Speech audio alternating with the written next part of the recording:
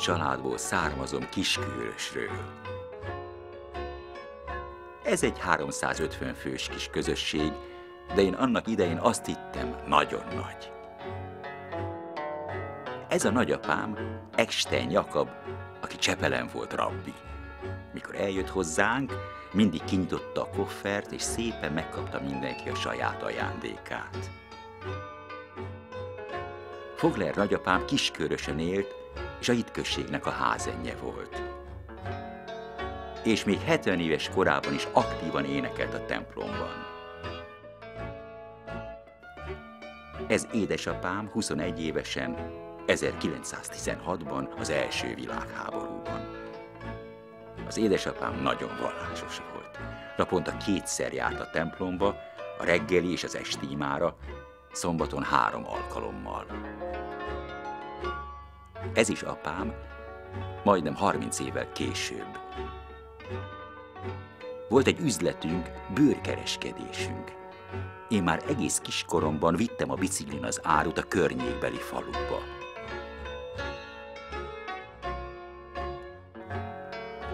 Ez anyukám balra, és az egyik húgom Rózsi.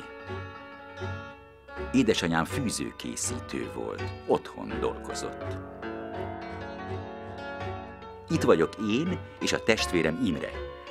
Ez az évvégi fényképezés volt az iskolában. Kicsi volt az iskola, csak egy osztályterem volt. Délelőtt voltunk az iskolai tanításon a rendes iskolában.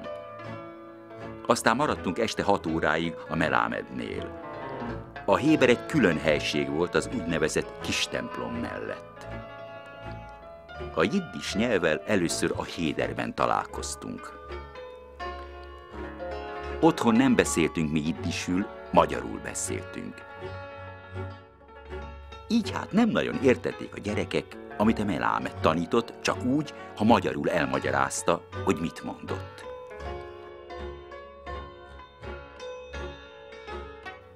A héderben nem lehetett nem tanulni, mert fegyelem, csend volt az órákon, és a Melamed elég érdekesen adta elő az anyagot.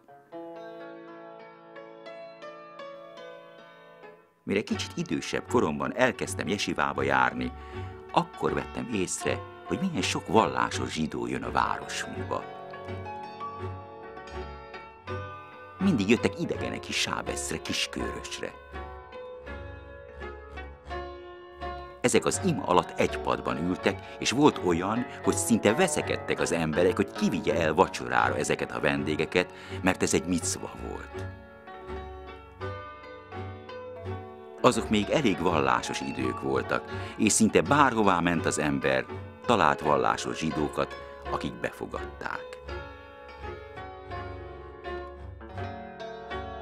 1938-ban abba hagytam a jesivát, és 1939-ben kimentem Palesztinába.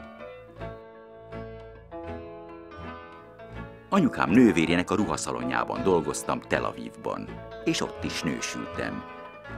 De én az elején megmondtam a feleségemnek, hogy én tűzön vizen keresztül akárhogy hazajövök. És hazajöttem, Három fiunk lett.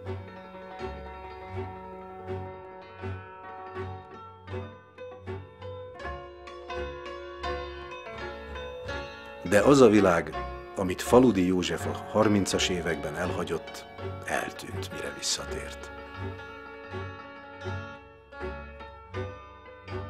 Kiskörös és a többi magyar kisváros zsidósága elpusztult a holokausztban.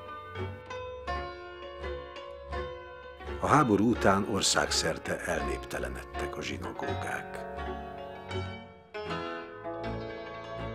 A temetőket benőtte a gaz és a repkény.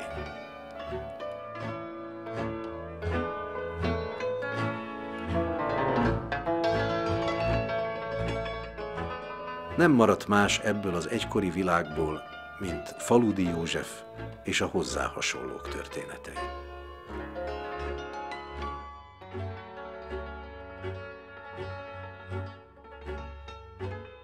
Faludi József még 80 évesen is Héberre tanítgatott ismerősöket, és Jiddis klubba járt.